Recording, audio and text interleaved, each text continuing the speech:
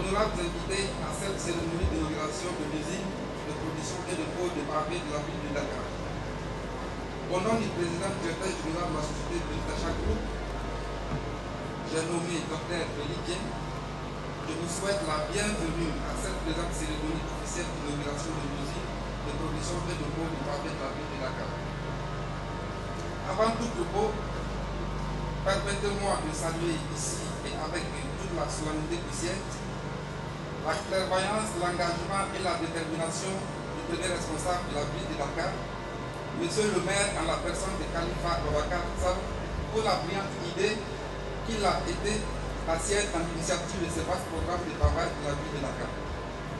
Pour revenir à l'historique de ce partenariat avec la ville de Dakar et la société de Group, rappelons tout simplement que c'est dans le cadre de son ambition de paver la ville de Dakar et de lutter contre la pauvreté que la, mairie de la ville de Dakar a initié par voie d'appel d'offres public à candidature cet important projet portant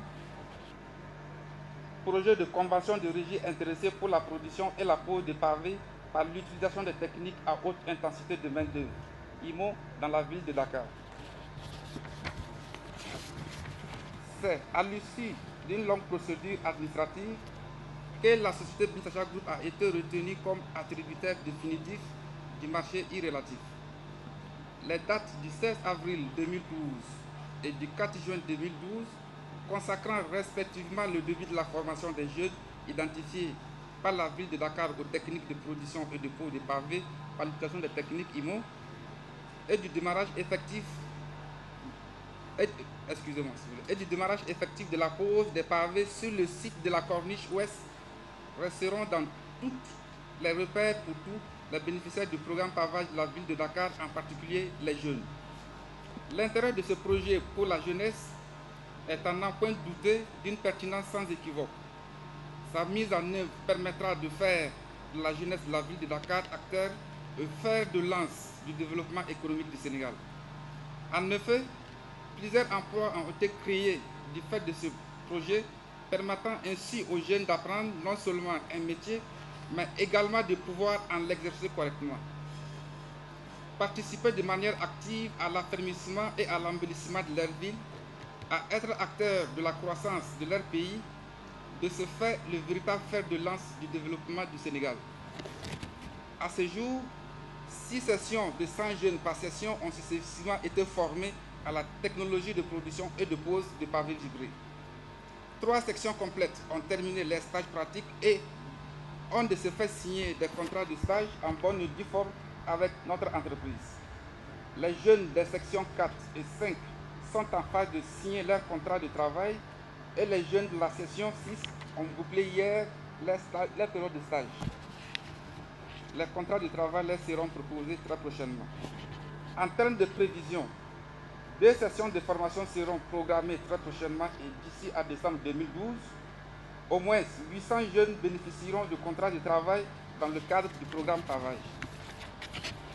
Les prévisions de 2013 sont également alléchantes en termes d'absorption de jeunes sans emploi et même que l'extension de la capacité de production de l'usine et de la capacité de pause est en étude au regard du niveau satisfaisant de l'exécution des travaux et de l'explosion exponentielle de la demande par la population les collectivités, les structures privées et autres qui apprécient bien le produit. En termes d'apport, la pertinence de ce, projet, ce est perceptible à plus d'un titre. La génération d'importants revenus au profit de la jeunesse de Dakar, l'amélioration de l'aspect extérieur de la ville de Dakar à travers l'aménagement des routes et voiries en pavé, à ces propos les chantiers écoles, Corniche Ouest, Hôtel de Ville, commune de Médina, par nous exécutés en sont une preuve éloquente. En somme, toute l'économie sénégalaise qui en bénéficiera à court, moyen et long terme. Honorables invités, nous saisissons donc l'occasion pour non seulement attirer l'attention des jeunes Sénégalais sur l'opportunité qui ont eu du fait de ce projet, mais aussi les inviter à mettre tout en œuvre pour ne pas faillir vis-à-vis -vis de la confiance et de l'espoir qui ont animé le maire de la ville de Dakar dès la conception et l'initiation de ce vaste programme de pavage.